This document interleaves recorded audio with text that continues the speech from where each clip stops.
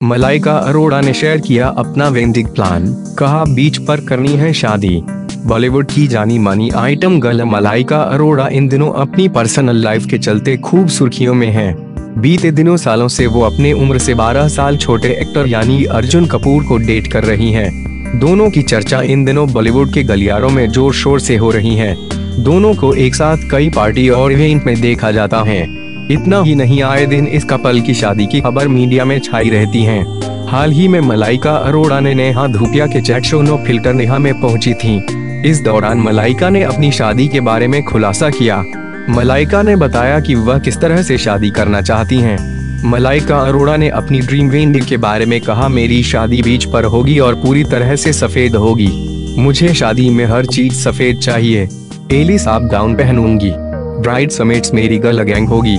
मुझे ब्राइड समेट्स का कॉन्सेप्ट काफ़ी पसंद है।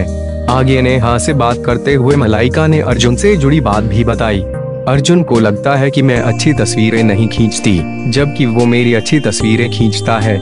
इस खबर के बाद कयास लगाए जा रहे हैं कि जल्द से जल्द मलाइका और अर्जुन की शादी होगी।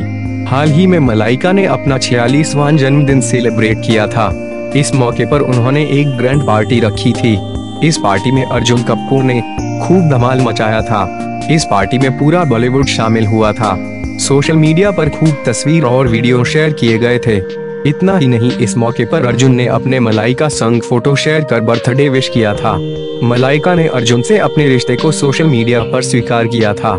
मलाइका ने अर्जुन के साथ रोमांटिक पोज देते हुए कैप्शन लिखा था, जिससे इस बात का खुलासा हुआ था, दोनों रिलेशनशिप में हैं।